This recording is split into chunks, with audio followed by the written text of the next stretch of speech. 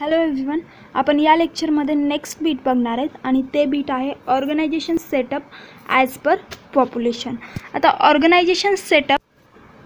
आणि organisation pattern याच्यामध्ये difference आहे ऑर्गनायझेशन पॅटर्न मीन्स याच्यामध्ये कोणकोणत्या ऑथॉरिटीच्या अंडर काय काय वर्क होतं त्याचा चार्ट होता आणि organisation setup as per population means त्या पॉप्युलेशनसाठी कोणकोणते इंजिनियर प्रोव्हाइड केले जातात आणि ते पॉप्युलेशन किती लिमिटमध्ये असेल तर त्यांना कोणता इंजिनियर दिला जातो हे आहे organisation setup as per population तर आता ऑर्गनायझेशन सेटअप ॲज पर पॉप्युलेशनमध्ये बघूयात आपण फर्स्ट याच्यामध्ये इन्फॉर्मेशन खूप आहे आणि इन्फॉर्मेशनमध्ये तर याच्यामध्ये अशा इंजिनियर्सचा सिक्वेन्स फॉलोअप केला जातो याच्यामध्ये फर्स्ट आहे चीफ इंजिनियर त्याच्या अंडर वर्क करतो सुप्रिटेंडिंग इंजिनियर नंतर एक्झिक्युटिव्ह इंजिनियर त्याच्याखाली assistant executive engineer assistant engineer diploma holder sanitary inspector sub sanitary inspector and sanitary supervisor हा असा याचा सिक्वेन्स आहे मग याच्यामध्ये आता एक गोष्ट लक्षात ठेवा की वन लॅकच्या खाली पॉप्युलेशन जर असेल तर तो टाऊन असतो आणि अबू वन लॅक पॉप्युलेशन असेल तर ती सिटी असते तर याच्यामध्ये वन लॅकच्या पॉप्युलेशनच्या खाली एवढे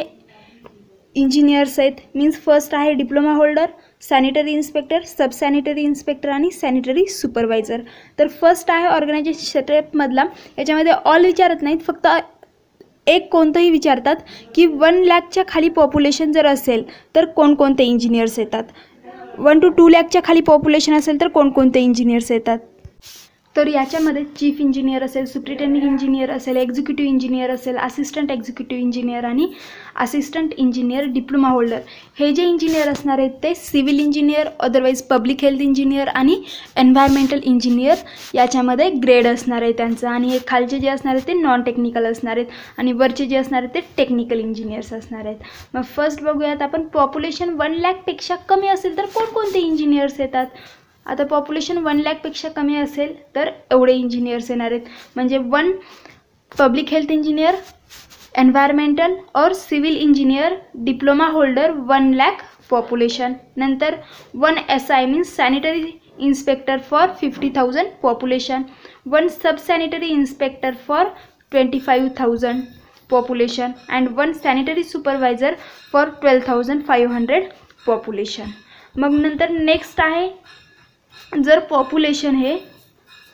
वन टू टू लॅकमध्ये जर असेल तर कोणकोणते इंजिनियर येतात assistant engineer one two two lakh population diploma holder per one lakh population sanitary inspector fifty thousand population sub sanitary inspector twenty five thousand and sanitary supervisor twelve thousand five hundred population